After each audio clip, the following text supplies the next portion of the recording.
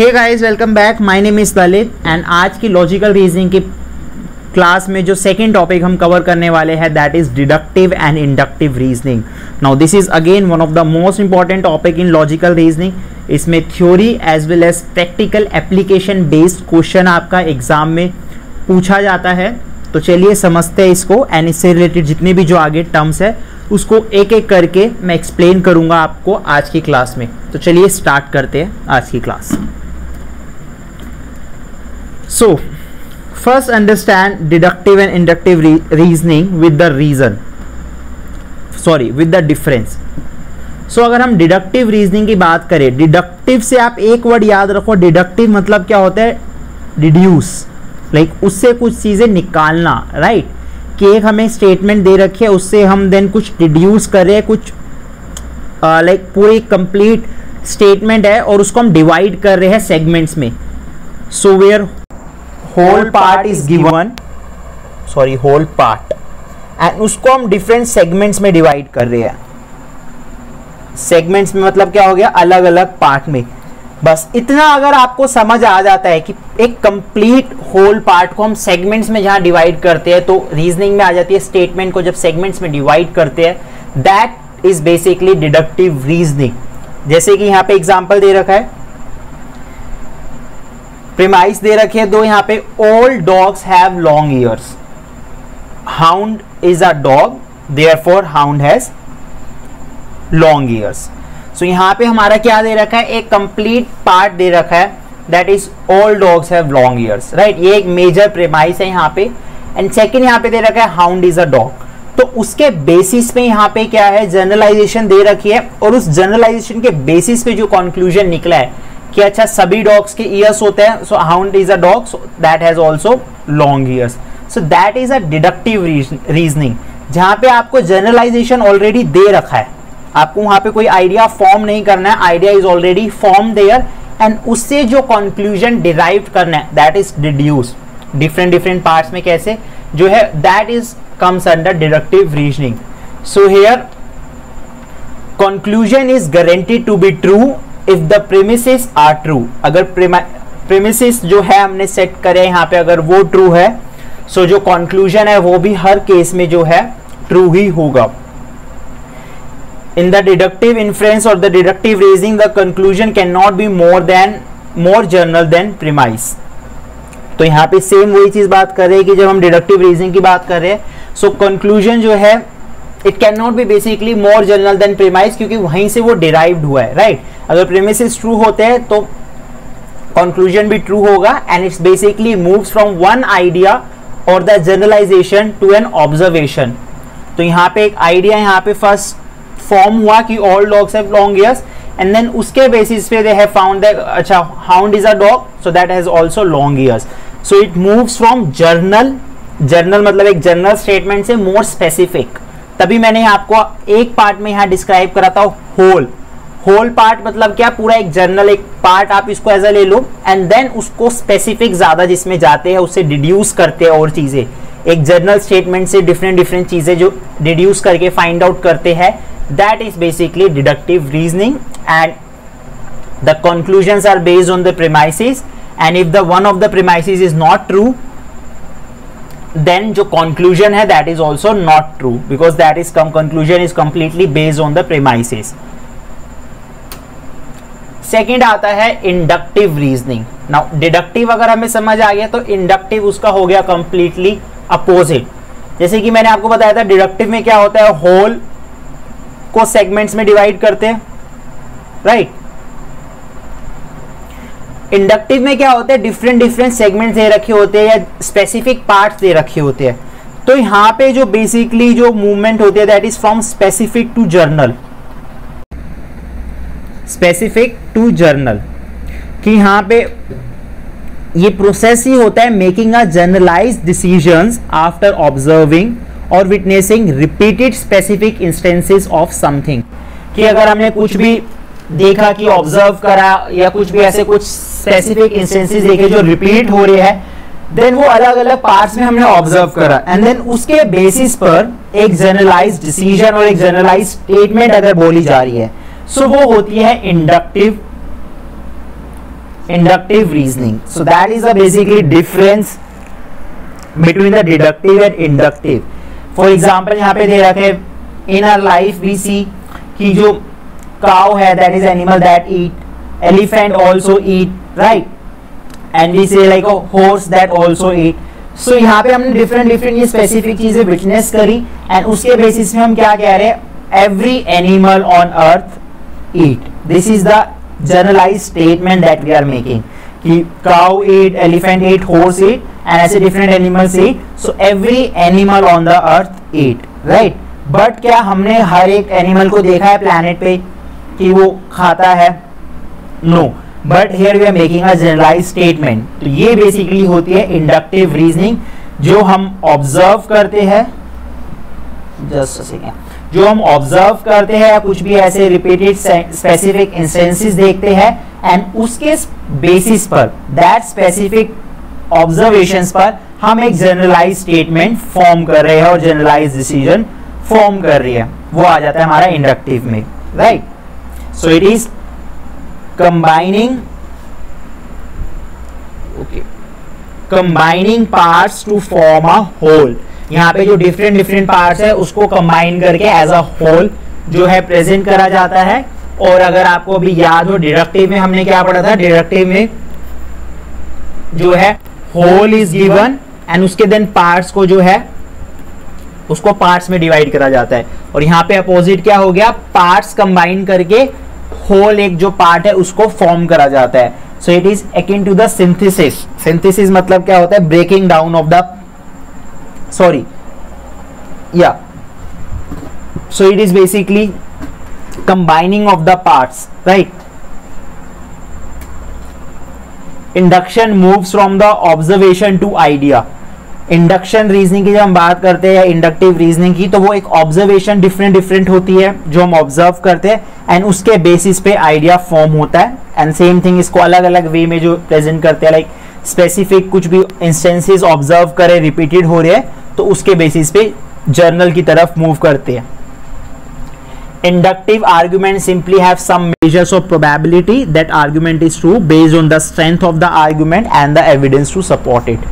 Inductive arguments की बात करें so it is like based on also probability कि क्या आर्ग्यूमेंट कितना जो है ट्रू होगा या नहीं, कि जो आर्ग्यूमेंट है उसको कितना that is backed up by the evidence तो उसके बेसिस में यहाँ पे जो आर्ग्यूमेंट होता है, उसको देखा जाता है whether it is true or not कि जो वो आर्ग्यूमेंट है, जिस बेसिस पे करा जा रहा है whether it is backed up by the strong evidence और नॉट तो यहाँ पे एक एग्ज़ाम्पल दे रखा है difference basically deductive and inductive के बीच में। Statement one is all vegetables contain vitamin कि जितने भी वेजिटेबल्स है दैट कंटेन विटामिन तो ये देखो, आपने एक पूरा होल एक स्टेटमेंट दे दी। अब यहाँ से आप देखोगे क्या है, यहाँ पे carrot is a vegetable so carrot contains vitamin तो यहाँ से होल से they move to the part right so that is deductive reasoning now अगर हम यहाँ देखें Mary and Jim are left handed and use left handed scissors यहाँ पे हमने एक ऑब्जर्वेशन करी कि मैरी एंड जिम क्या है? लेफ़्ट हैंडेड है।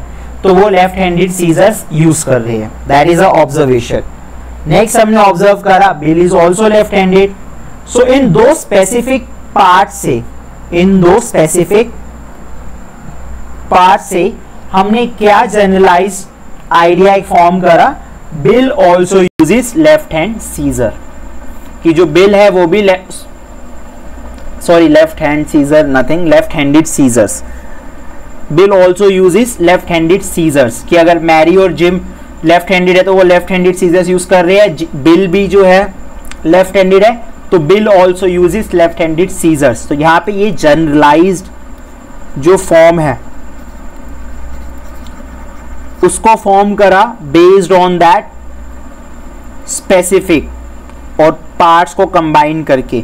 सो so, इसलिए ये हमारा हो गया inductive and that is the deductive this I have explain that is the difference basically given कि अगर डिडक्शन में प्रेमिस ट्रू होंगे देन कंक्लूजन भी ट्रू होगा। एंड अगर हम इंडक्शन में बात करें if the premise are true in induction then conclusion is probably true और वो नहीं भी हो सकता है तो यहाँ पे 100% जो है वो ट्रू नहीं होगा। Deduction is hard to use in everyday life because it requires a sequential set of facts that are known to be true. जब हम डिडक्शन की बात करते हैं that is very hard to use in everyday life क्योंकि वहाँ पे generalized idea form हो रहे हैं एंड देन उसके बेसिस पे हम कुछ डिराइव कर रहे हैं। लेकिन अगर इंडक्शन की बात करें so that is basically based on day to day sorry day to day observation right it based on the partial knowledge probabilities so that is use all the time in every day life कि हम चीज़ें observe करते हैं and उसके basis पे generalized idea जो है form करते हैं। So that is use all the time in every day life deduction is more precise and quantitative while induction is more general and qualitative deduction basically quantitative and precise होता है, क्योंकि यहाँ पे generalized idea जो form करा गया, उससे हम यहाँ पर जितने भी जो प्रीमाइज या कंक्लूजन जो है डिड्यूस कर रहे हैं वाइल इंडक्शन में क्या होता है एक जनरल टाइप की स्टेटमेंट फॉर्म होती है based on only observation so it is not that much precise as compare to the deductive reasoning so there are the some questions that has been asked in the previous year papers so there are the two questions here that i have been discussing number one in deductive argument the conclusion is so हम deductive argument की बात कर रहे हैं तो वहाँ पे conclusion जो है कैसे फॉर्म्ड होता है?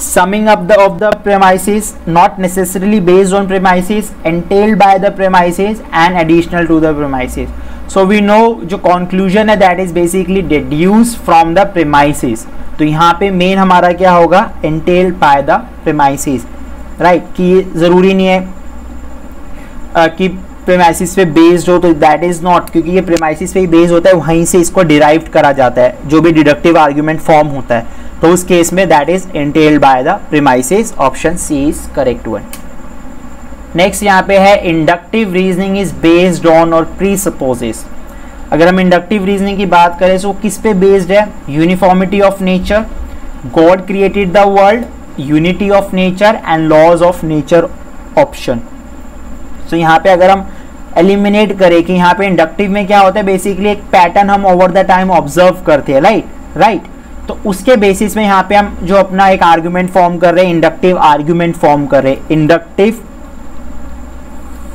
argument is formed basically based on the repeated sequences तो वो जो यूनिफॉर्म होते हैं नेचर में, उसके बेसिस पे यहाँ पे जो रीजनिंग होती है। सो so, इसमें आता है हमारा option A that is uniformity of nature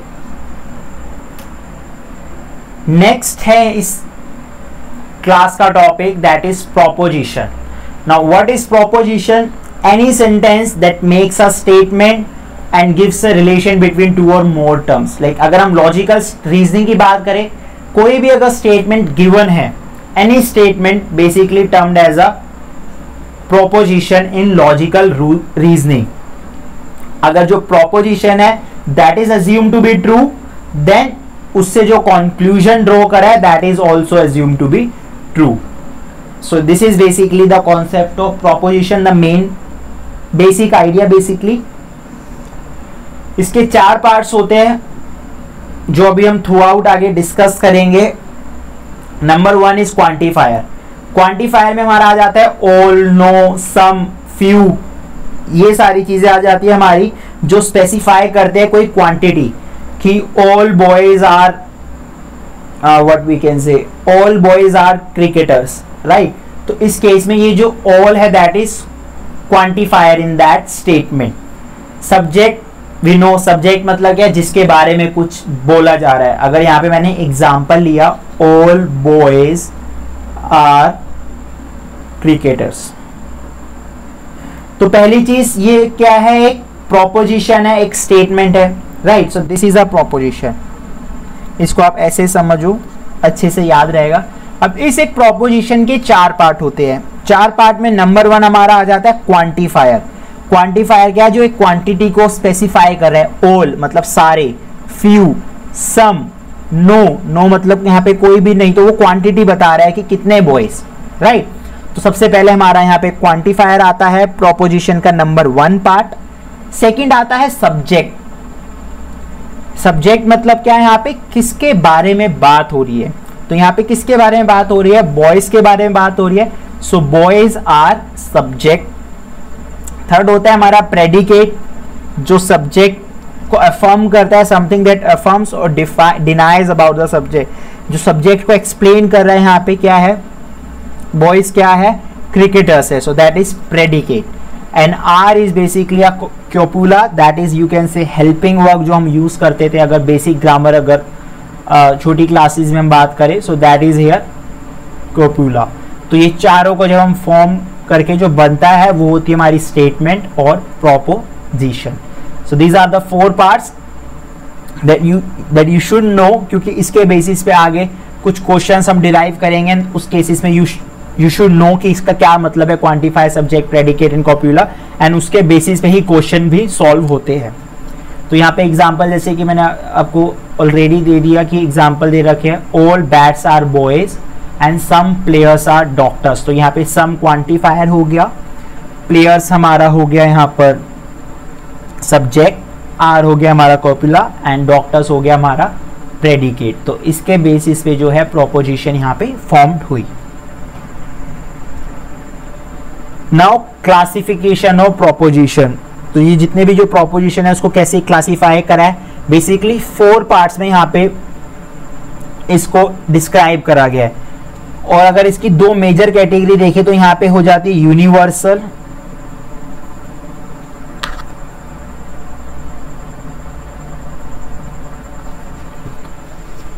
अगर यहाँ पे हम दो कैटेगरीज बात करें क्लासिफिकेशन में, एक होती है यूनिवर्सल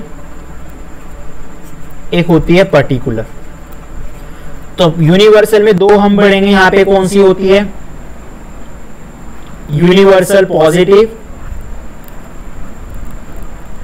और सॉरी यूनिवर्सल पॉजिटिव तो एक ही है अलग अलग नहीं है ये.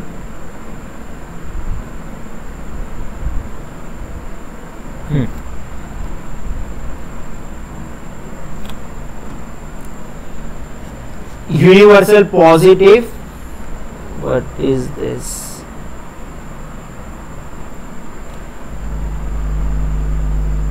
Okay.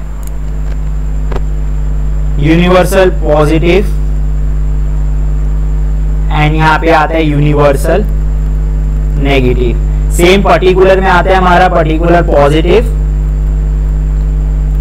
and particular negative तो ये चार होते हैं बेसिकली इनको रिप्रेजेंट करा जाता है अलग अलग सिंबल से and that symbols are important क्यों? अभी हम आगे जब डिस्कस करेंगे कॉन्क्लूजन कि आप हमेशा सोचते हो कि ये क्वेश्चंस में से ये कॉन्क्लूजन कैसे बनते हैं? जैसे कि अगर ये एग्ज़ाम्पल कोई दे रखा है स्टेटमेंट दे रखे है, ये कॉन्क्लूजन दे रखा है राइट तो ये अगर हमें कॉन्क्लूजन खुद निकालना है तो ये कैसे निकलेगा? We need to know this classification of proposition for that उसके बेसिस पे वी डिराइव द कंक्लूजन और इसके क्वेश्चंस आपके एग्ज़ाम में हर बार आते ही है। तो यहाँ पे नंबर वन इसको मैं कर देता हूँ इरेज एंड देन समझते हैं नंबर वन हम्म। तो यहाँ पे सबसे पहले हम बात कर रहे हैं यूनिवर्सल पॉजिटिव और एफर्मेटिव यूनिवर्सल पॉजिटिव में यहाँ पे क्या आ जाता है? विच डिनोट्स द इंक्लूजन कि यहाँ पे ऑल एस मतलब जिसमें सारी चीज़ें इंक्लूड हो जाती है बेसिकली ऑल जब भी यहाँ पे इसको ऐसे याद करो ए फॉर जो भी ए का सिंबल है दैट इज़ फॉर ऑल तो ऑल मैंस आर हार्बर्स क्या harbours sorry all man all man are cricketer all cats are animals तो जब भी ऑल का यूज़ हो रहा है so that is universal positive right and यहाँ पे आपको देखना है कि इट्स अबाउट द इंक्लूजन कि ऑल कैट्स आर एनिमल्स तो cats are included in the animals तो ये होता है इसका वेन डायग्राम अगेन ये हमने वेन डायग्राम अच्छे से करना है डिटेल में बट यहाँ पे भी ये हो गया इसका वेन डायग्राम कि all cats are into the animals तो ऐसे इसका वेन डायग्राम मिलता है कि एनिमल्स जितने भी है, जो भी कैट्स है, उसके अंडर आ रहे क्योंकि all cats are animals so it distribute the subject only यहाँ पे जो सब्जेक्ट है that is distributed only and जो बेसिकली कैट्स एग्ज़ाम्पल में डिस्ट्रीब्यूटेड इन एनिमल्स तो ये हो गया हमारा यूनिवर्सल पॉजिटिव जितने भी ऑल से रिलेटेड है all boys are players all cats are animals all horses are running. Not running here because that's not a kind of a proposition in that context. So, you can say all all horses are fast all horses are runners whatever you can say in that वे सो यहाँ पे जितना भी जो all वाला आ गया, उसका Venn diagram याद रखना है कि ऐसे वेन डायग्राम बनता है। Number one thing this is important and second thing is कौन किस पे डिस्ट्रीब्यूट हो रहा है? सो so, यहाँ पे only the subject is distributed on the predicate second आता है universal negative universal negative is simply opposite of that universal positive negative भी no negative में आ जाता है, not, no. जहाँ पे भी no और not आ रहा है, वहाँ पे हो जाता है हमारा universal negative. That excludes, that denotes basically exclusion. Like no fish are birds right तो यहाँ पे अगर इसका वेन डायग्राम बनेगा तो फ़िश अलग बर्ड्स अलग. कोई भी फ़िश बर्ड नहीं है. तो यहाँ पे ये नो हो गया. पहले हमें आइडेंटिफाई करना है ये कौन सी प्रोपोजिशन टाइप है? ई e. अभी हमने पढ़ा ए एंड नेगेटिव वाला होता है यूनिवर्सल नेगेटिव होता है डिनोटेड बाय ई जो एक्सक्लूजन बेसिकली डिनोट करता है एंड इसका वेन डायग्राम यहाँ पे कैसे बन रहा है? सेपरेट कि नो फ़िश आर बर्ड्स तो दोनों का अलग अलग वेन डायग्राम एंड यहाँ पे जो एंटायर क्लास है प्रेडिकेट की that is denied to the entire class of subject term कि यहाँ पे जो भी हमारे सब्जेक्ट है एंड प्रेडिकेट है predicate is denied by the denied the entire class of the subject next है यहाँ पे particular positive particular positive basically denotes the partial inclusion partial मतलब क्या? थोड़ा बहुत. अब थोड़े बहुत से क्या हो सकता है? Some we know some S is P some man are foolish तो यहाँ पे जब सम की बात आ रही है सम फुलिश आर मैन या some man are foolish so so, वो हमारा होता है पर्टिकुलर पॉजिटिव पर्टिकुलरली हम बात करें किसी चीज़ की और वहाँ पे जो है पार्शियल इंक्लूजन जो है उसको डिनोट कर रहा है. So first it is denoted by I particular positive अभी तक हमने पढ़ा A E and it is I so I से डिनोट होता है पर्टिकुलर पॉजिटिव जहाँ पे सम फ्यू ये सारी चीज़ें आ जाती है. एंड यहाँ पे अगर इसके वेन डायग्राम की बात करें तो यहाँ पे फॉर एग्ज़ाम्पल दे रखा है सम मैन आर फुलिश तो यहाँ पे ये फुलिश एफ़ से आप डिनोट कर दोगे एंड यहाँ पे ये हो गया मैन तो सम मैन आर फुलिश तो ये दोनों आपस में आपस दोनों में जो है यहाँ पे इंक्लूड होंगे, क्योंकि यहाँ पे ये मैन है, यहाँ फुलिश भी है तो इसलिए इसका वेन डायग्राम ऐसे बनेगा. So Venn diagrams are also important along with understanding A E I क्योंकि इन्हीं के बेसिस पे जो है हमारा कंक्लूजन डिराइव होगा, जो आगे हम क्वेश्चन में करेंगे right so in this example subject term that is man is use not for all but only for some man and similarly the predicate is affirm for a part of the subject class so here both are undistributed कि कोई भी किसी पर completely जो है distributed नहीं है। Next is particular negative particular negative आ जाता है यहाँ पे that denotes partial exclusion. Denoted by O कि some S is not P or not every S is P. तो जहाँ पे पार्शियल एक्सक्लूजन हो रहा है, जैसे यहाँ पे पार्शियल इंक्लूजन था, वहीं उसी तरह वहाँ पार्शियल एक्सक्लूजन हो गया सेम सम और नॉट आ गया. नेगेटिव आ गया तो नॉट लग गया. बस ये चीज़ हमें याद रखनी है इसमें. नेगेटिव हो गया नॉट हो गया, बाकी same particular positive and negative में नॉट हो जाएगा। नॉट मतलब क्या? वो एक्सक्लूजन को डिनोट कर रहा है। तो some S is not P और some birds are not carnivores right तो यहाँ पे जो डिस्ट्रीब्यूशन हो रहा है that is only on the predicate so इस वे में ये चार क्लासिफिकेशन है प्रोपोजिशंस की। अगर हम चारों को अगर समडअप करें तो यहाँ पे ए ई आई ओ ये चार सिंबल्स याद रखने ए में हमारा आ जाता है ऑल सम, इसमें हमारा सॉरी ई e में आ जाता है हमारा नॉट इसमें आ जाता है हमारा सम आई में एंड इसमें आ जाता है सम नॉट राइट तो ये चार चीज़ें और इनका ये जो simple all not some some not that you have to remember to do the questions that we gonna do in the later slides इसके बाद नेक्स्ट आता है पार्ट्स ऑफ़ कैटेगोरिकल प्रोपोजिशंस इसमें हमारे तीन हो गए यहाँ पे basically major premise minor premise and conclusion that also have discuss कि प्रीमाइस और कंक्लूजन क्या होता है। तो इसमें बेसिकली हमें क्या देखना है जब कि कौन से मेजर प्रीमाइस होंगे एंड कौन से माइनर प्रीमाइस होंगे। एंड यहाँ पे एक और जो न्यू टर्म है that you have to know that is middle term so one term जो है, दोनों प्रेमाइसिस में जो कॉमन होती है that is called the middle term for example यहाँ पे दे रखा है all humans are mortal all Greeks are human all Greeks are mortal तो यहाँ पे इसमें अगर हम बात करें तो मिडिल टर्म क्या होगी हमारी? ह्यूमंस मॉटल होते हैं एंड ग्रीक्स भी ह्यूमन है. तो ये जो ह्यूमंस है, ये दोनों स्टेटमेंट्स में लाए कर रहे हैं राइट सो ह्यूमन यहाँ पे क्या हो गया? Middle term so in this example human is the middle term that is common in both the premises और जो हमारे कंक्लूजन का पार्ट नहीं होता है। सो मिडिल टर्म में पहला वो पार्ट होता है प्रीमाइसिस का एंड सेकेंड वो जो है कंक्लूजन का पार्ट नहीं होता है, वो हमारा मिडिल टर्म आता है।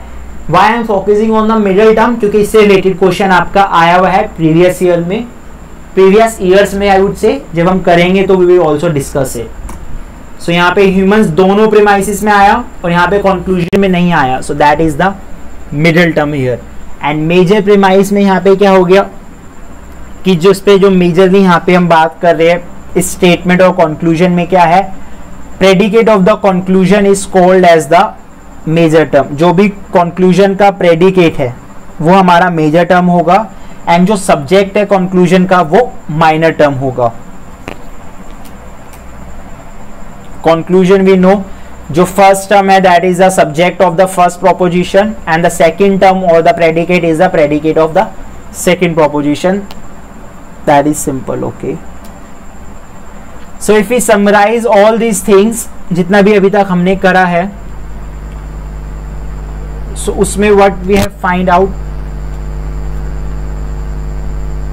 sign पहले यहाँ देख लेते हैं ए आई ओ ये क्या है? All all S are P E no S no P मतलब नेगेटिव हो गया। ये हो गया हमारा सम एंड ये हो गया हमारा सम नॉट तो यहाँ पे एग्ज़ाम्पल दे रखे all politicians are liars it is only distributed to subject no politicians are liars both subject and predicate are distributed on both quantity यहाँ पे यूनिवर्सल है, ये first two and particular so this is basically a summary of what we have discussed till now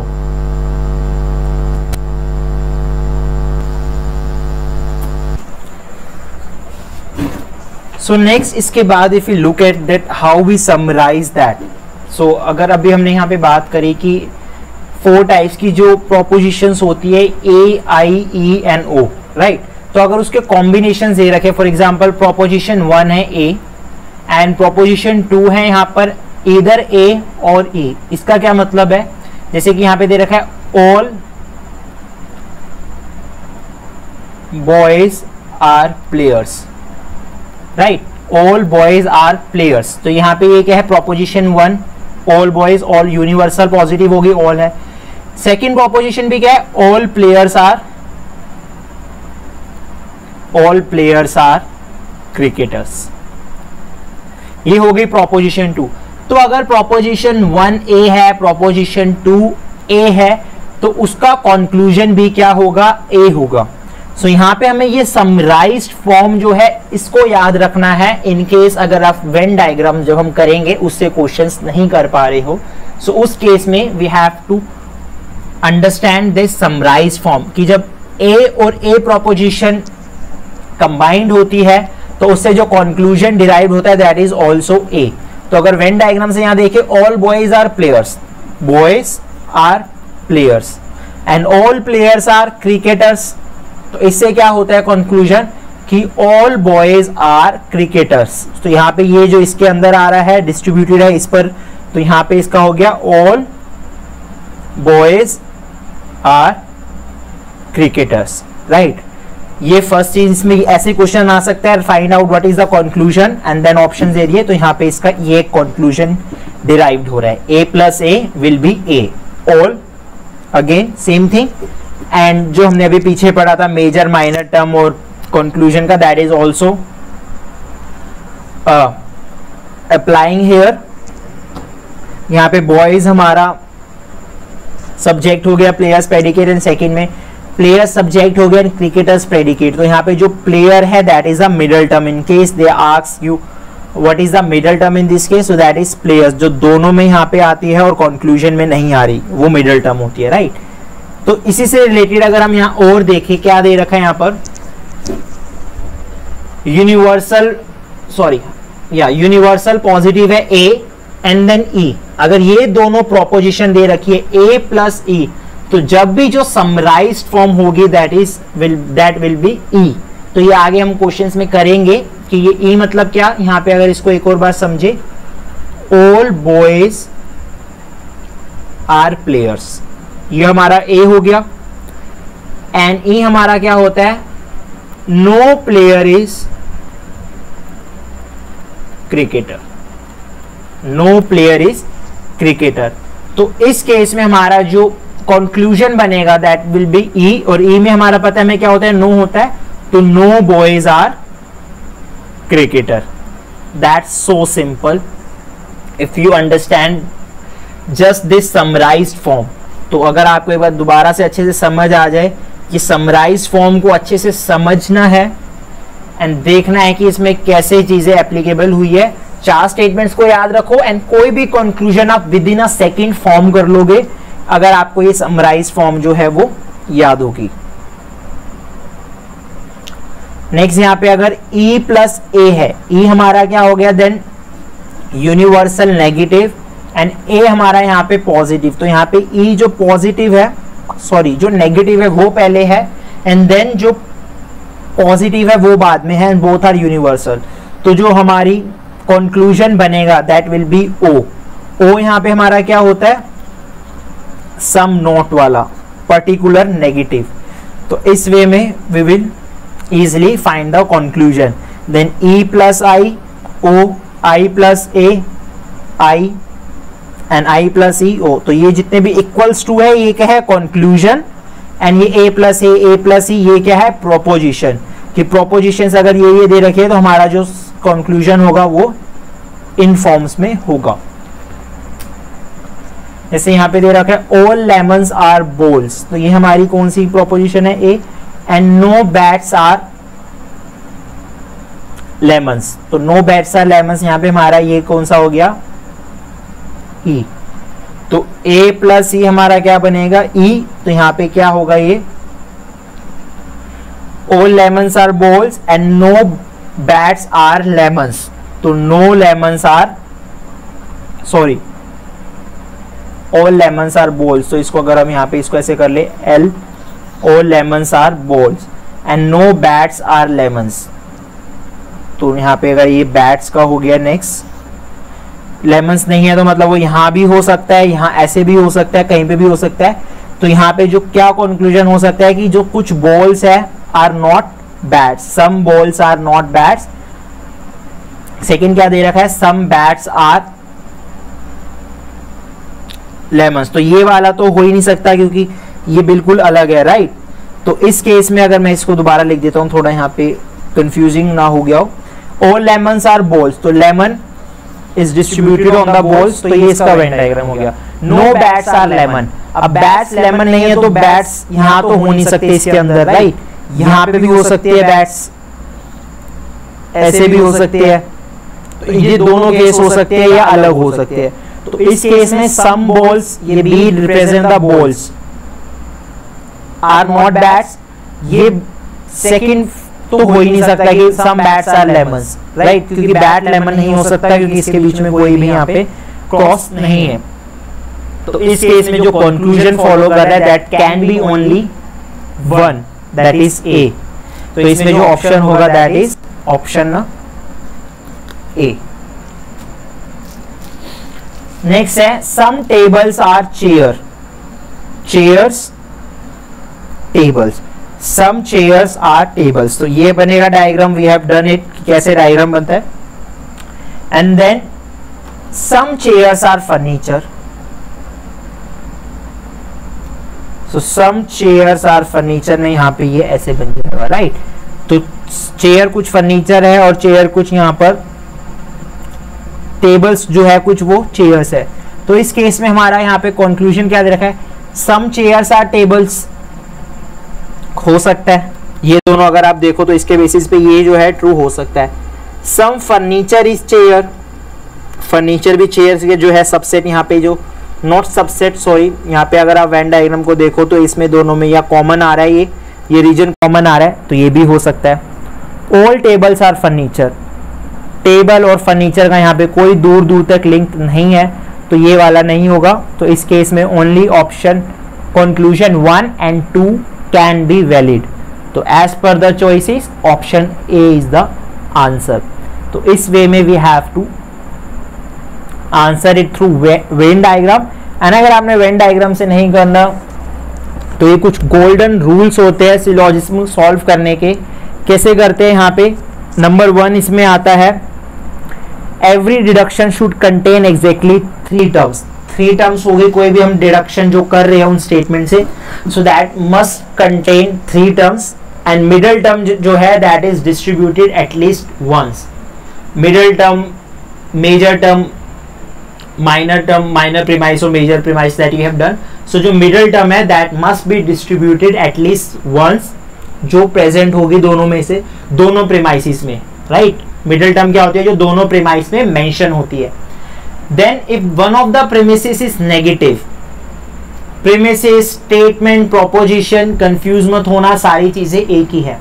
तो अगर कोई भी एक premise जो है वो नेगेटिव होता है तो जो कंक्लूजन है दैट ऑलवेज बी नेगेटिव तो यहाँ पे अगर हम बात करें some chairs are not tables अगर ये दे रखा है प्रिमाइस तो उस केस में जो कंक्लूजन बनेगा, वो भी क्या होगा? नेगेटिव होगा। एंड अगर कोई भी प्रीमाइस पर्टिकुलर है then conclusion must also be particular particular मतलब क्या? सम सम और सम नॉट तो अगर कोई भी प्रीमाइसिस बेस्ड है सम फ्यू मेनी पर तो उसी के बेस पे कंक्लूजन भी इन्हीं पर बेस होगा सम फ्यू और मेनी पर। If both the premises are particular then no conclusions can be drawn from the given premises अगर दोनों ही जो प्रीमिसिस जो है पर्टिकुलर है कि सम बॉयज़ आर प्लेयर्स और some players are cricketer then उससे कोई भी जो है कंक्लूजन ड्रॉन नहीं करा जा सकता Six, if both the premises are negative, then again no conclusion can be drawn from the given premises. Like no boys are players, no players are cricketers ये देखो, आप दोनों ही नेगेटिव है। Just second no boys are players ये होगी हमारी premise one second हो गई नो प्लेयर्स आर क्रिकेटर्स ये हो गई हमारी सेकेंड तो इन दोनों केसेस में जब दोनों ही नेगेटिव होते हैं you can not draw any kind of a conclusion from that so based on the question आपको यहाँ पे आंसर करना है। यहाँ पे जो भी कंक्लूजन दे रखे तो यहाँ पे कोई कंक्लूजन फॉर्म नहीं हो रहा तो उसके बेसिस पे you have to answer A term that is not distributed in the premises cannot be distributed in the conclusion. तो अगर कोई टर्म है यहाँ पर, अगर वो प्रीमाइसिस में जो उनकी है, उनमें डिस्ट्रीब्यूटेड नहीं है तो कंक्लूजन में भी वो इंक्लूडेड नहीं होगी basically so these are the some golden rules of solving a syllogism अगर ये आप समझ लेते हो या वेन डायग्राम समझ लेते हो तो इससे related question you can easily solve in exam so that's all for today's class I hope जो भी हमने टॉपिक्स कवर करे आपके क्लियर हुएँगे इन केस नहीं हुए please let us know and will try to cover every doubt and जब तक जितने भी अपनी जो प्रैक्टिस है इन क्वेश्चन की करते रहो again the practice is the key in the logical reasoning understand the concept कैसे क्वेश्चन करते हैं एंड देन उसके बेसिस पर प्रैक्टिस करनी है.